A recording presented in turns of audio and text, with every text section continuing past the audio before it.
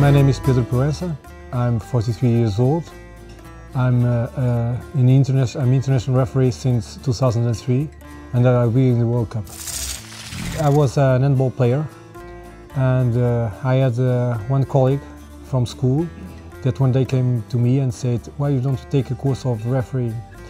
In that uh, moment I, I was uh, coming to the high school and I had the possibility to managing the sport part of my life with the, the, the studying.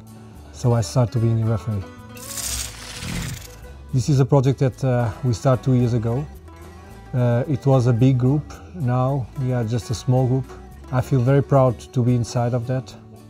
And now we are preparing the, the small details that uh, give us the, the chance that we arrive to Brazil in a very good shape. I will arrive to Brazil with the expectation that I can enjoy the tournament. Uh, it will be my, my, my biggest tournament that I'm going to do as a referee. So I hope that I can enjoy that, I can give something to the World Cup tournament. Uh, we know that in Brazil all the people feel the football, they have the, the football on the, on the blood. So I think the referee team will be prepared to, to do our best. I'm a normal person as uh, other ones and so I like to do sports, I like to do skiing, uh, I like to be with friends and with the family so I'm a normal person who, who likes to enjoy the life.